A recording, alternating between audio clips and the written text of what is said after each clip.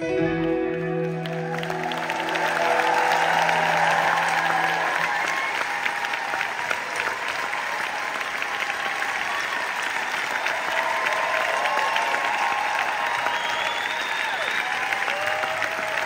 merci, mais merci.